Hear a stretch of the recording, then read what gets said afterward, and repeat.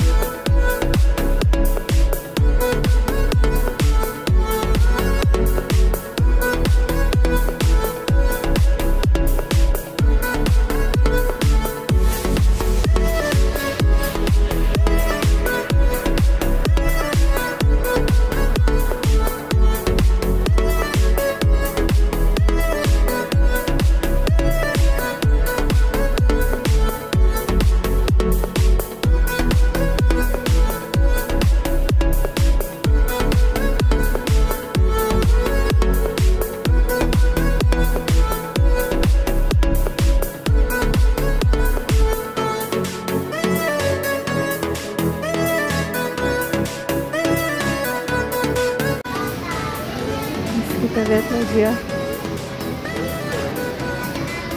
Gelap. Ini ada ujung sana. Ini ada sepeda jadul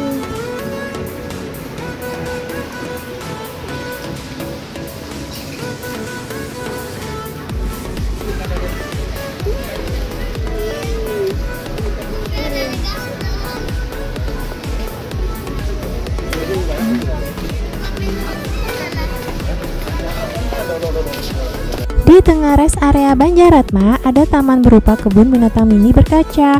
Fasilitas ini cukup menarik bagi anak-anak. Di dalamnya terdapat burung-burung. Res area ini memang beda dengan yang lain. Bahkan bangunannya tampak masih lawas. Bukan berdesain minimalis modern seperti pada umumnya res area sekarang. Tak lengkap rasanya jika singgah ke res area Banjaratma ini tanpa bersantap dan berbelanja oleh-oleh bukan? Nah, rest area Banjaratma ini menyediakan keduanya loh, secara lengkap dan terjamin kelezatannya. Memiliki areal yang luas, rest area Banjaratma sanggup menampung banyak pelaku UMKM yang tersedia dan menyediakan berbagai macam serta oleh-oleh yang bisa dipilih. Diketahui wilayah Brebes Tegal dikenal dengan produk bawang merah, telur asin, kerupuk melarat, sate kambing, teh, dan poci. Apa ada tempat apa ini?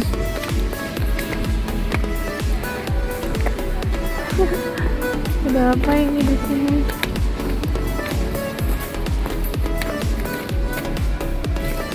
Apa sih?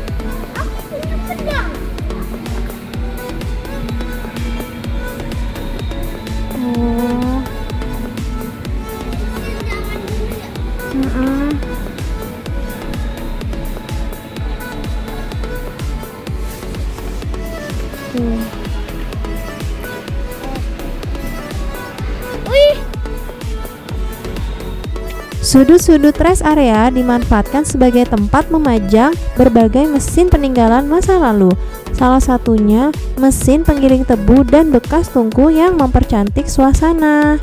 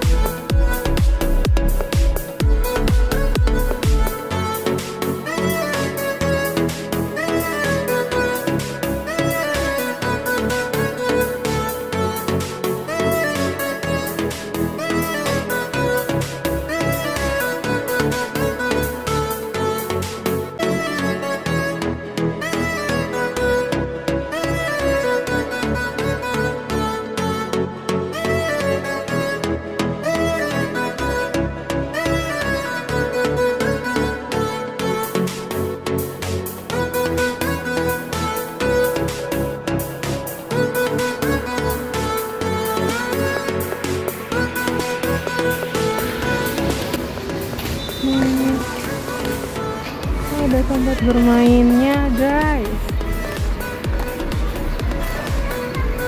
Tuh. Wah, kita mau ke kereta. Ayo sini.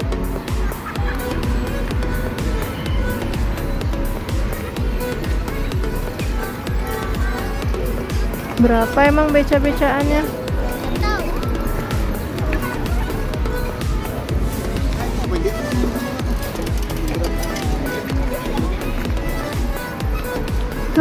udah kereta sama sini. Ya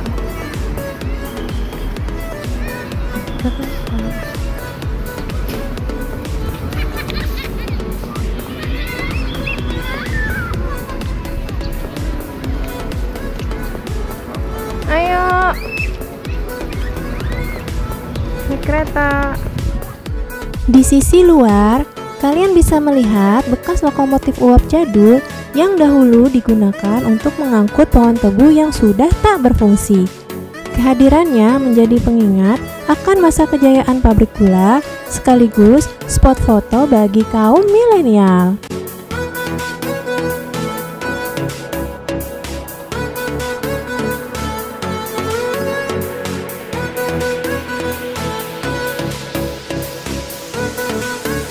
Baru-baru ini, Rest Area Heritage Kilometer 260B Banjaratma juga menambah fasilitas wahana yang seru untuk anak-anak.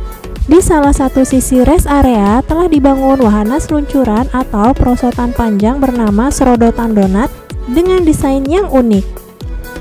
Tak hanya dibuka untuk anak-anak, orang dewasa juga bisa menjajal keseruan menaiki wahana ini. Untuk pengunjung, pengunjung akan dikenakan tarif 15.000 saat hari kerja dan 25.000 saat hari pekan dengan dua kali kesempatan meluncur. Tak heran, rest area pabrik gula arah Jakarta ini disebut sebagai salah satu destinasi wisata bagi kendaraan yang melintas di ruas tol Pemalang, Pejagan. Rest area Banjaratma Brebes juga menyediakan fasilitas masjid untuk pemudik atau pengunjung yang menjalankan ibadah sholat. Masjidnya dirancang dengan ornamen batu bata merah.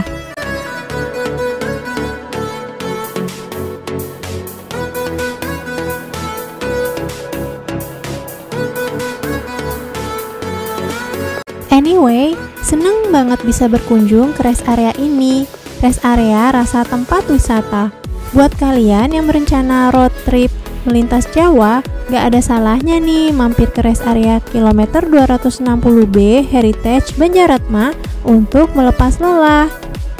Sekian dulu video dari aku, semoga kalian suka dengan videonya ya, dan semoga bermanfaat. Jika kalian suka dengan video aku, silahkan klik like, subscribe, komen, dan juga share ke media sosial yang kalian punya. Stay safe and healthy. Happy traveling. See you next on my video. Bye bye. Wassalamualaikum.